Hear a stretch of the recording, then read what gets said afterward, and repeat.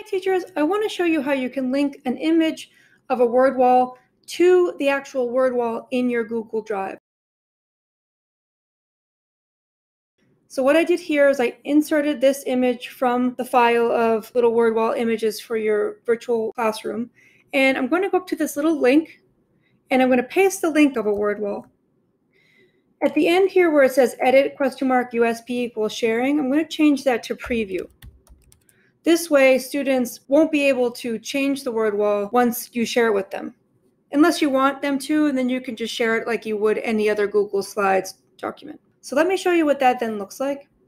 If I go up to View, Present, and I click on the word wall, it'll bring me to my class word wall. And in here, the student can click on any of these images to learn more.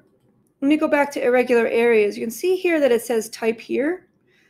If you go back to your original word wall, and let me go down to irregular areas, and let's say you wanted to type something here.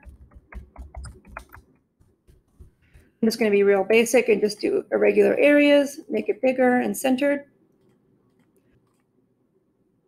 Now, when the student sees this, this page, it'll now say irregular areas on it.